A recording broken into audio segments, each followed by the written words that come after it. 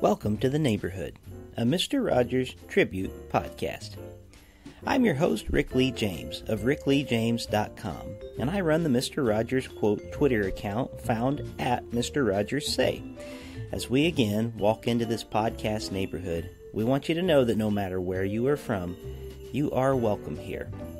I'm glad to be your neighbor. Every daughter, every son, every tribe, and every tongue in the spirit of Fred Rogers and the life of welcome that he lived, welcome to the neighborhood. This week in the neighborhood, our subject is patience. He is our very own version of Mr. McFeely, always delivering good conversation for us on the program. He's an expert at helping people tell their stories. He produces engaging, innovative media for public radio, public television, and public events. He's the executive producer and host of Things Not Seen Conversations about Culture and Faith, which airs weekly in Chicago on WYLL 1160 AM and is distributed by PRX. He's also the executive producer of the Francis Effect podcast. David Dault, welcome to the neighborhood. Rick, it's always good to be back with you. Thank you so much for having me. Well, I am so glad to be able to have a conversation with you again today. You know, we haven't really caught up since last time, but we were just commenting on how we are almost halfway uh, to the number of episodes that we were planning to do on this first season. We we had planned for nine, and I can't believe we're already in episode four. I know it's it's a wonderful thing, and I remember when you first mentioned this to me as a possibility. It's it's so nice to see that it has come to pass, and it, I'm especially pleased to see all the people that are responding to it and have said such very kind things about the work that we've done together. So I I just want to say how much I appreciate you and how much I appreciate the listeners who have tuned in and who are sharing this with their friends. Well, certainly, and I appreciate having you here week after week. And I do want to remind all our listeners, just while we have uh, a quick moment here to talk, um, our website is welcomeneighbor.podbean.com if you wanted to go and check out our show notes and learn more about us. And there's also a link to all the things that David is doing there and some links to my other podcasts and endeavors on there. But I wanted to make mention really quick, and I know we're talking about patience today, so maybe saying that we're going to do something really quick won't go quite along with that. Um, but I just wanted to say uh, I don't know if it's related to this show or not, and all of the, the kind people who have been following it. Uh, but from the time we released episode one, we were almost to 30,000 followers on the at Mr. Rogers Say Twitter feed. And here we are starting to record episode four just a few weeks later, and we have 37,600 followers. Uh, so we've grown by over 7,000 uh, people that have been, you know, many of which are, are listening to this show and being a part of our conversation. So I am just so glad. And so to all of you listening, whether this is your first time or you've been joining us, or even if you've just been following on Twitter and are starting to be a part of these conversations, uh, to you, we also say welcome to the neighborhood. We are so glad to have you with us. Well, David, let's get into uh, our topic for today. And the topic is patience. And I know that patience is one of those things that comes very difficult uh, to many of us, if not most of us. And I know you got you have some good conversation starters for us today as we begin. Well, I, one thing that I thought about when I learned that this was the topic for this week, I thought about a teacher that I had in high school, and this teacher had a lot of idiosyncrasies. And one of one of the things that she did repeatedly was to try and give students encouragement in various memorable forms. And one one that has stuck with me for more than 30 years from that time in high school to now is a poem that she had up on the wall. And the poem said, Put up in a place where it's easy to see the cryptic admonishment T, T, T. When you see how depressingly slowly you climb, it's good to remember that things take time. And I can't tell you the number of times that I have thought about exactly that phrase as I'm struggling with something or I'm just getting started with something and I'm so angry at myself because I haven't mastered it immediately, that phrase comes back into my head. Things take time. and it has been a balm and a blessing to me for more than three decades. And I'm wondering if you have experience with this, Rick. Do you ever get frustrated when you try and do something new? Certainly. And, you know, in some ways, this very podcast that we're recording right now, uh, it took us nearly a year from the time that we started talking about it to when we um, actually began recording. Not quite a year, but uh, by the time we're recording, I, I, think yesterday was about a year from the time that we first started having conversations about it. And part of that was just trying to formulate what this would look like and the format we wanted to take and how we wanted to welcome people. And in my mind, when I'm starting something, whether it be a new album, which by the way also takes sometimes over a year uh, from the time of planning to the time of recording and, and sometimes even two years at times before you release. And it can be very frustrating. Um, but you're exactly right. You can't rush it if you're going to do it right, and things do take time, and it's just part of the process. And it's probably good that things take time. And I mean, we can look out at uh, if if you grow a garden, you know we've been growing a, a, few vegetables this year, and the process of seeing them take time and, and grow, and going out with my son and in different parts of the day and say, hey, how, are they? You know, the the beans are starting to get some bloom on them there, and we're starting to see them grow, but it just doesn't happen overnight um, as much as we would like it to. And oftentimes, the things that don't take much time are things that really don't hang around for long either. I think. I think that that's true. And one of the things that I've been reflecting on as I've been thinking about this topic is exactly that the the notion that something that is that is labor intensive or something that takes time to acquire as a skill can actually be worth it and that that's one of the things that we can say both to ourselves but also to our children. Because the frustration Rick that I feel and that I know that you feel and the frustration that we see our children experience that can be very dissuading. That can make you want to quit. It can make you want to stop and go and do something that is much easier and the notion that that which is truly worthwhile is is always difficult. That's an important lesson to learn, and it's one that I see my children learning a lot faster than I did. I, I probably didn't learn that until my late 20s or mid 30s. That it's good sometimes to really invest in something that even if it's frustrating to you, it takes time, it takes effort, but uh, to have the patience with yourself, that's been a lesson that it's been very long coming for me to learn. Yes, well, totally agree with you on that. We, we're in the, the middle of uh, learning to ride a bike as well as learning to tie shoes here um, with my son. Not me, I already know those things, um, but with my son, and and those things do take patience and time, and sometimes he wants to know it right now, and uh, it just doesn't happen right away. You just th- some things, and especially things were worth doing, they do take that patience and they do take that time. Well, Rick, if you've got a moment, I'd like you to think back to when you first learned to play guitar or when you first learned to put a song together. Did that happen immediately or did that take effort and patience and did it did it have a learning curve attached to it? My goodness, I wish it would have happened immediately, but no, uh, it didn't at all. In fact, um, when I first started learning guitar, I was 15 years old. I, I was probably a, a, late bloomer for some of the, the better guitarists uh, that are out there, but I lived out in the country, uh, a good 15 to 20 minutes away from anything in town. Even my school was that far away. And one thing that I had was time. I would be out uh, at my house, and of course, this was before internet and cell phones and things like that. So there was not a lot of other things that were distracting me. Thank God. And I would sit for hours in my room, and I just loved it. And as frustrated as, as I would become at how slow. Uh, it seemed at times to learn things that I wanted to learn and, and songs and how to play them. Um, there was such a sweet victory whenever I would get that song at last or finally learn some riff that I was trying to do. And and when my fingers would stop being sore you know from from initially when you first start uh, boy, it takes it takes a lot of pain in the beginning when you're holding down those strings.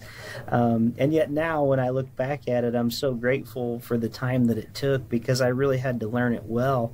And and now I can play just about anything, and I have so much uh, freedom in what I do that I can you know play a lot of things without even thinking about it.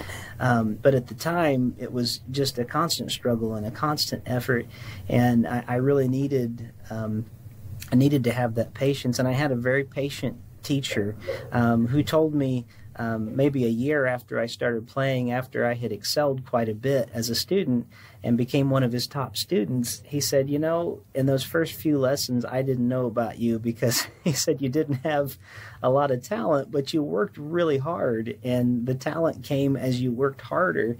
And he said, After, you know, a few months, I just knew you were going to be one of my top students because you worked so hard. And there were other people um, that came in that seemingly had more skill in the beginning, but they kind of got bored with it and didn't work at it and just kind of let it go. And so I, I think I learned a valuable lesson about patience uh, through music. So I'm glad you brought that up. Well, this is a lesson that I wish that I had learned when I was much younger. And that is the ability to become good at something oftentimes takes the willingness to be bad at something and to and to be bad in the beginning and to suffer through where you know that you want to be versus where you know, if you're honest, that you are. And what you just said about the hours that it took, uh, training your muscles and even just training your skin to not be in pain when you play guitar, that that to me is is such an important lesson not only in my own life but I hope also for our listeners for us to share with our listeners. This notion that you know patience with yourself when you know that you want to be doing something and you're not good at it yet, but it's important enough to you and it's valuable enough to you to put in the time to really be bad at it for a little while until it gets good. And this is one of the things that I like so much about Mr. Rogers is that he was willing to let people be who they are and where they are at that given moment. He wasn't judging them. He wasn't trying to force them along or to shame them for not being better at something, even better at being kind than, than they were able to be at that moment. He trusted in the process of their own development, and he trusted that left to their own devices, they would want to choose the good if they could, if they were given the opportunity and the support to do it. And that kind of faith in that process that's a powerful lesson for me. And like i say it's one that i'm still learning. It's one that i don't i don't always remember with my with myself. I don't always remember it as a parent. But one of the things that is so valuable to me about the example of mr rogers is exactly that he that he was able to show that day in and day out. And it probably wasn't easy for him. I imagine that he some days was worse at this than others. But he made the, and we've talked about this before in other episodes, he made the choice to practice and to build habits of patience and kindness and acceptance that over time grew into vast gardens of these virtues in his life and I think that that's that's probably one of the strongest lessons is just even if you're bad at being kind initially, it is so worth the effort to do it even badly, and you get better as you try it again and again and again. Yes, totally agree with that, and uh, and he would even in the program sometimes when things didn't go the way uh, that every you know everybody would have thought they wanted to and and listeners will hear a little bit more about this later in the show.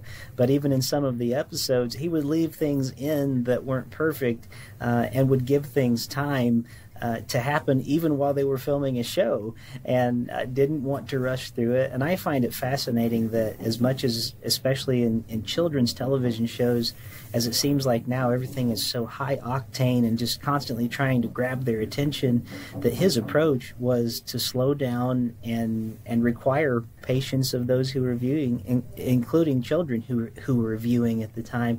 And I can still see the way that in my own son as we'll sit with him at the end of the day and watch an episode of Mr. Rogers' Neighborhood, how the show and the way that Mr. Rogers uses patience uh, just it will calm him down and it calms us down and it and it, it makes us stop and become more reflective and I'm so grateful for that and the art of that that he was showing us because I do think there is a real uh, struggle to it and an, and an art to that kind of patience. Well, and this is the probably the the note that I'd like to end on, and that is, uh, as a parent, one of the lessons that I have to learn again and again is how to be willing to let my children be bad at something. Um, I I've been to graduate school and I come from a very high pressure childhood. I am a perfectionist. I like to do things right and I like to do them well. And sometimes, especially when my children were, were very young, they would they would attempt something, and I would find myself wanting to just step in and do it for them because I wanted to see it done right. And the the lesson that I had to learn, Rick, again and again was it's not about doing it right. It's about the joy of learning to do it themselves. And learning to step back and let my children be themselves and learning to let my children have their own mistakes and the blessing of learning through their mistakes. That is a hard thing to do day in and day out. But but now 7 and 8 years on as as my as my children are growing older, I see the fruits of being willing to let them struggle and being willing to let them um, grow through their mistakes. They don't have to do it right the first time, and I don't have to have them do it right the first time. But man, it took a long time, and I still struggle with it. But it, it took a long time to let that lesson really take root in my soul, and it it it's a it's a blessing. But but man, it was difficult at, at the beginning. Yeah, I, I really don't think I have much I could add to that. I agree with you so much. And just even today, I was um, I don't know if you've ever tried golf with your children or not, but uh, miniature golf or even going to a driving range. But today I uh, was doing some uh, last minute before school starts stuff with my son, and we went to a driving range and uh, we're swinging golf clubs and hitting balls. And you know what you want to do, at least what I want to do, is no, no, this is how you do it, and you just and so much of it is showing him, but then letting him work through it himself. He has to learn it, and he's he's improving, but it's a hard thing to learn at first. And I just totally agree with what you said. Giving our children that space and being patient with them and allowing them to do it is so important. Well, well, Rick, I mean, what what you're saying about that is, I, I, you know, when when we are able to do that, and when we're able to do that over time, I think because we don't immediately see the fruits of it, and I think this circles right back to the whole notion of patience in the beginning. Patience is all about trusting the process, trusting that the fruit will come even if you can't see it breaking the ground right now. That's what Mr. Rogers was so good at doing. But I think that everything in our culture right now is designed to tease us away from that wisdom, to make us feel like immediate results are the only results that matter. That's one of the reasons why I'm so thankful for an example of someone like Mr. Rogers to be able to show us that, you know, what we're really waiting for is not going to be visible in this moment. What we're waiting for and what we're hoping in is maybe that invisible thing that we know is working even if it's not evident right now. Yes. No, I, I'll, I'll just say amen on that. I agree with you very much so. Uh, well, any other thoughts you had today before we move on uh, with with the rest of our episode? Well, just uh, it has been plain to me from some of the social media interaction that the things that you and I are talking about are speaking to listeners, and that the listeners are taking the lessons of Mr. Rogers to heart. And I just want to say how thankful I am that first that people are listening, but that what they're listening to and what they're taking from our conversations seems to be valuable to them in their daily lives. And I just, I, I hope that that will continue. I'm very thankful halfway through this first season to be seeing already some of the fruits of that in not just our lives but in the lives of our listeners. Yes, indeed. And and David, you know, before you go, um, I, I wonder any any advice on um, on being patient with yourself. Oh my! So I I have a lot of internal dialogue. I have voices in my head that are constantly yelling at me that I'm not good enough, that I'm not smart enough, that I'm not that I'm not doing things right. And even when I when I stand up in front of a crowd and I do some kind of of presentation, uh, this happened to me just the other day. I could I could get feedback on all of the feedback sheets that all say this was excellent, this was wonderful, but there'll be that one piece of feedback that is negative that says, oh, well, this didn't do right or this fell short in this place, and that will be what I will think about for the next day and the day following. And so part of what I hope I can communicate to listeners is that the most important thing that Mr. Rogers taught us is that he liked us just the way that we are. And if that's the voice, if that's the the narrative, if that's the story that we can tell ourselves, that even in our failures we are loved and appreciated, if we can start having that be what plays in our heads, I think this world would be so much kinder and so much more welcoming and hospitable than it is right now. And I'm I'm saying that just starting with myself. I'm not able to be patient and kind to myself most days. And that is the the first point of struggle. We're we're taught in the gospels that we should love our neighbors as ourselves. But some days we even struggle with loving ourselves, and that has to be where we begin. We have to understand, not in a selfish way, but in just an accepting way, that we are growing and we are changing, and that we are all right as we are doing the best we can right now. And I mean, I hope that as the days go by, that's the voice that I hear and not the negative voices that I so often have trapped in my head. Yes, and, and that's very good. And I, I just wanted to add one more thing before we go to the next uh, segment of our show. Um, maybe if we can also kind of become mindful in our lives of those things that are making us impatient. And and as you you have already said, you know, if we can become mindful of maybe those voices that are telling us other things, uh, sometimes it can help us if maybe we can identify, maybe even write those things down sometimes, and just say, all right, these are some some triggers for me, and I and I need to maybe work on how to uh, get around these things or, or how to spend time in different uh, spaces. And uh, but patience is something I think we all need to work on.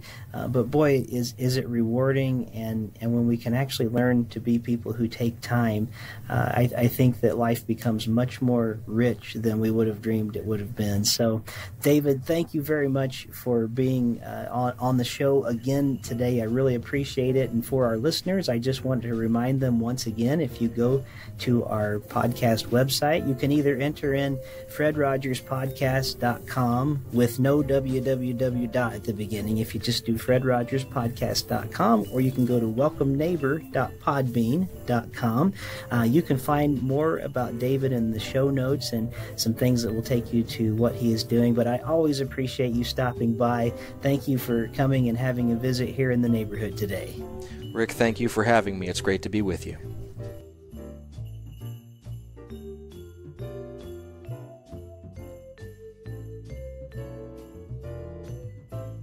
This is how the dictionary defines patience the capacity to accept or tolerate delay, trouble, or suffering without getting angry or upset.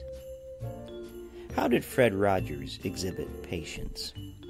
What did he teach us about patience? I think that Fred Rogers must have had a gift for being patient.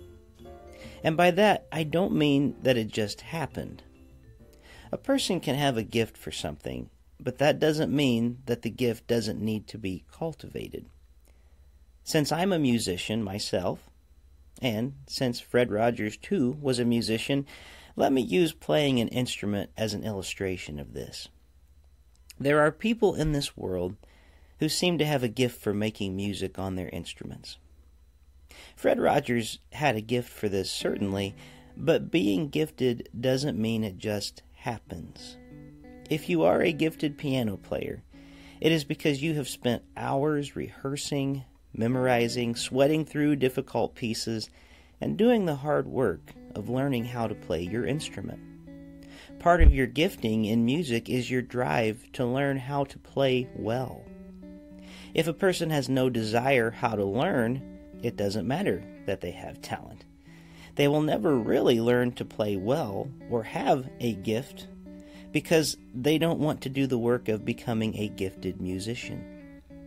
A person who has a gift for music is a person who is willing to follow through, to push through the hard parts until they can ultimately play well.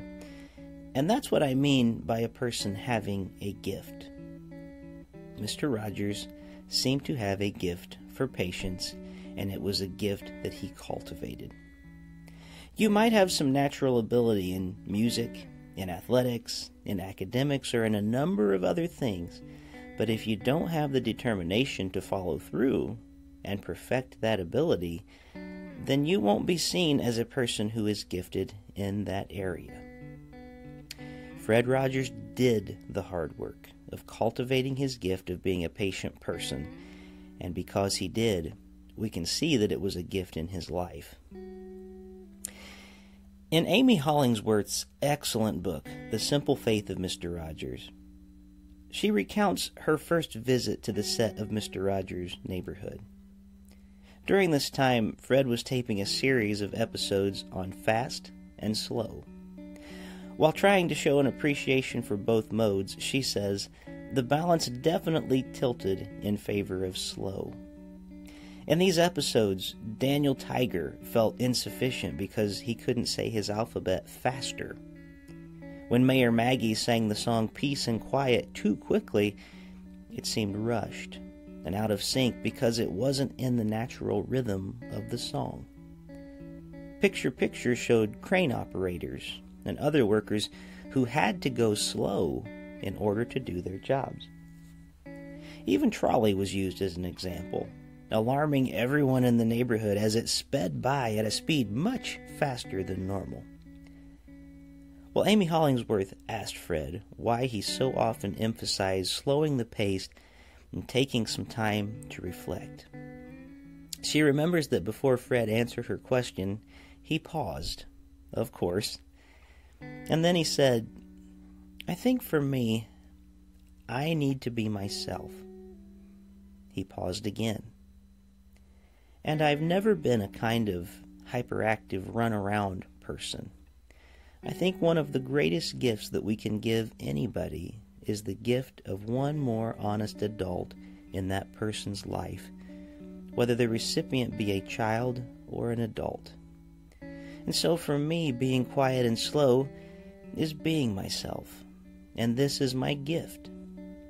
It seems to me, though, that our world needs more time to reflect about what is inside, and if we take time, we can often go much deeper as far as our spiritual life is concerned than we can if there's constant distraction, noise, and fast paced things, which doesn't allow us to take time to explore deeper levels of who we are and who we can become.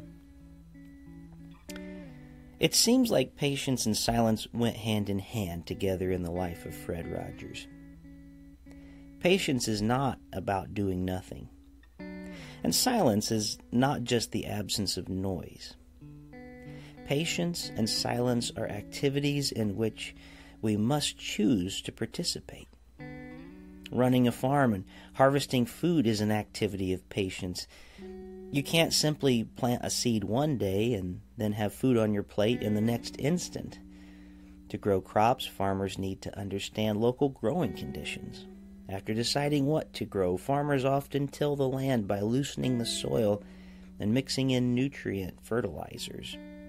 Then they sow seeds, and when the crops are growing, farmers must water, weed, and kill crop pests and once the crops are mature, the farmer will harvest them. Well, farmers also need resources to grow food such as land, air, nutrients, water, and sunlight. Farmers themselves need energy so they can continue to work the land. I believe that Fred Rogers was trying to teach us that a harvest of patience can only be produced by working in the soil of silence. It doesn't seem like this would be the case, but silence and its close relative, patience, required discipline. It's true. We've talked about the self discipline of Fred Rogers on past episodes of Welcome to the Neighborhood. The way he woke up early every morning to spend time in quiet Bible study and prayer the way he would daily swim laps in order to intentionally maintain the weight of 143 pounds. He did not smoke or drink. He napped daily as he could. He went to bed at 9:30 p.m. and sleeping 8 hours per night without interruption was very important to him. The discipline of prayerful silence and rest that started and ended each day in the life of Fred Rogers fueled the productive activity and the patient demeanor that shone out of his life. I want to return to Amy Hollingsworth's book once more. Again, the book is titled The Simple Faith of Mr. Rogers. She says, One time on his program, Fred invited Sylvia Earle to the neighborhood. Sylvia was a noted marine biologist and explorer in residence at the National Geographic Society. Fred wanted to demonstrate the noises that fish make as they're eating, so Sylvia brought an underwater microphone to place in the aquarium to de- demonstrate. Once the equipment was set up, the cameras began rolling, but the camera shy fish refused to eat. Come on, Sylvia coaxed. Chow time, dinner bell. Of course, the fish ignored her. Sylvia then told Fred that these particular fish are such noisy eaters that some people can hear them without a fish phone. But still, there was only silence. Usually they have very good appetites, Sylvia said again, but the fish weren't listening. Most crew members shooting on the set thought that this episode was turning into a disaster and assumed that Fred would want to retape the segment with a different aquarium and much less media shy fish. But Fred didn't. Again, I'm quoting Amy Hollingsworth here. Waiting on the fish was a lesson in patience, and he was instilling an appreciation for their quietness as well as their noises. If we can learn to wait through the natural silences of life, he liked to say, we will be surprised by what awaits us on the other side. Fred always allowed time for silence. The older he got, the more he saw the need for it, he said. And at the end of the myriad of commencement speeches he delivered, while accepting an Emmy for Lifetime Achievement Award from the Academy of Television Arts and Sciences, in presentations at the White House, and even in Christmas cards, which said, May you be blessed with moments of silence and hope at Christmas and always. The thing Fred Rogers shouted the loudest was silence. I think Fred Rogers' trade was not simply being a host of a kids program. Patience and silence was the trade that he learned it was the trade that he cultivated. And it was the trade that he taught us how we can learn, too. Thank you, Fred Rogers, for teaching us how to take a breath.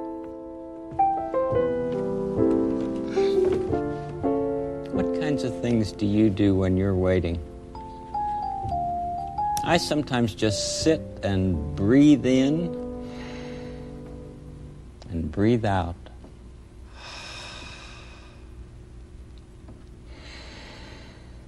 in, out. And I just think in and out.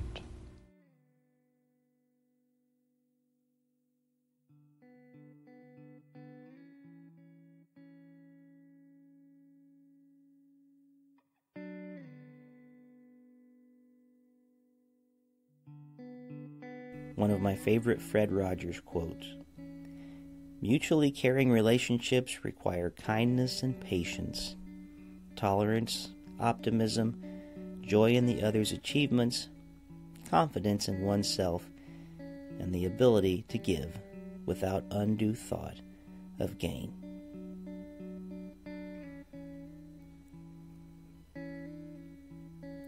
To read more about Mr. Rogers' practice of patience, cultivated from silence, pick up a copy of the book The Simple Faith of Mr. Rogers, written by Amy Hollingsworth.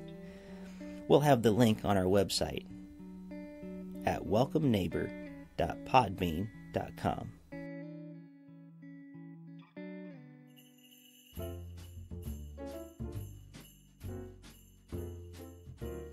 Thank you for joining us here this week in the neighborhood. Music featured on the podcast was Nouvelle Noel by Kevin MacLeod, and all other music by Benjamin Tossot at bensound.com.